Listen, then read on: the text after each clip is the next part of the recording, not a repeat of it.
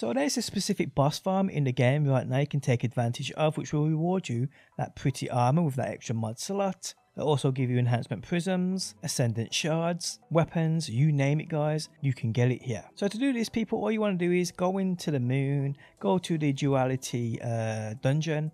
You want to start this on that master difficulty. This is probably best doing it in a team because you can save checkpoints and alt characters and just load straight from the checkpoints, go straight to the boss fight. But if you're doing this solo, you will have to run through the first part, which will probably take about five minutes. But once you get to the boss, guys, this is what you need to do. Lead the boss to the back of the map. If you're a warlock, put that well on and drop that well right in this corner here We can see me and my hunter and my Palantir hunter are here doing this.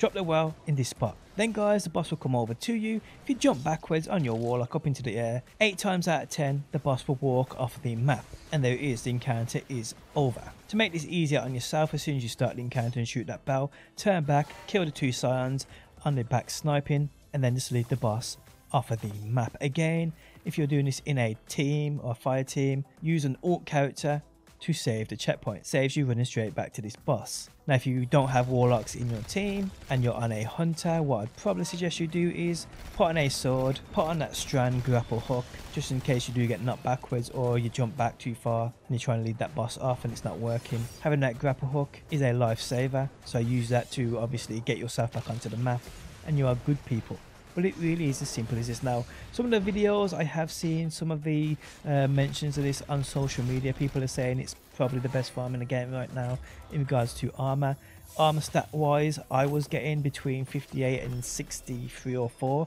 nothing major here. I don't know if bungie know about this and i've kind of nerfed loot. I'm not sure about that but it's pretty popular at the minute so i'm pretty certain bungie do know about this and whether they're just leaving it in the game for people to exploit and abuse because they feel bad for how bad the raid was. I don't know but you tell me people you tell me. But yes a video I wasn't going to make, but because I was farming it, I thought, you know what, I may as well drop a video for those out there that don't know about this. But it really is as simple as that. Guys, if you enjoyed the video, leaving a like really helps out. If you like what you see and want to see more, be sure to subscribe and hopefully, guys, I will see you on that next one.